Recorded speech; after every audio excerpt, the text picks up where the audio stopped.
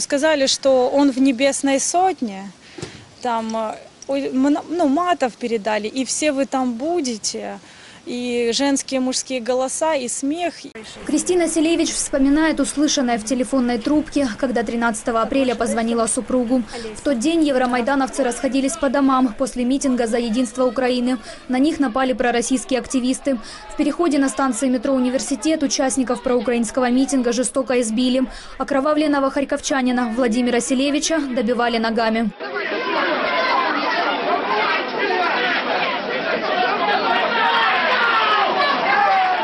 На видео пользователи интернета опознали Ольгу Варжиинову. Медработницу и мать троих детей из Чугуева подозревают в хулиганстве, совершенном группой лиц.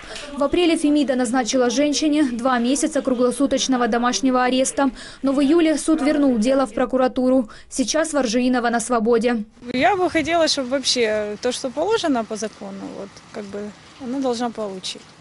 Только это. Очень неприятно, что сейчас это все затягивается, что суды это затягивают. 29-летний кандидат технических наук и преподаватель ХАИ Владимир Селевич едва ли не остался инвалидом и перенес две сложные операции. Мужчине удалили часть черепа и осколки кости, которые попали в мозг. Память до сих пор восстановлена не полностью. День до травмы и две недели после травмы, ну, никаких воспоминаний, никаких даже, вот даже я видео смотрю, там видео свои, там фотографии, где э, что там в переходе было, там, я этого не помню совершенно. Несмотря на тяжелую травму головы, в июле Селевич отправился в зону АТО под Луганск. В ремонтном батальоне вместе с харьковскими активистами они совершенствовали технику украинских военных. За месяц грузовой автомобиль превратили в пуленепробиваемый, обшили металлическими листами.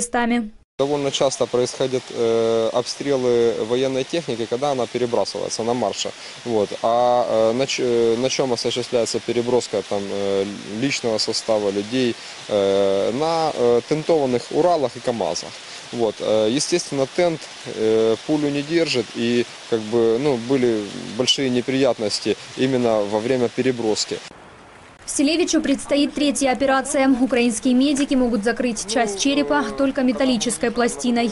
Но металл, как бы, э, естественно, хуже, чем не металл, ну, по причине его электропроводности, поэтому мы все-таки хотели бы, чтобы э, закрывали, э, например, керамическим материалом. Закрыть часть черепа керамической вставкой можно за границей. Селевич отправится на операцию в Чехию. Стоимость лечения – пять с половиной тысяч евро. Самостоятельно собрать эти деньги семья Селевич не может, поэтому просит помощи у всех неравнодушных.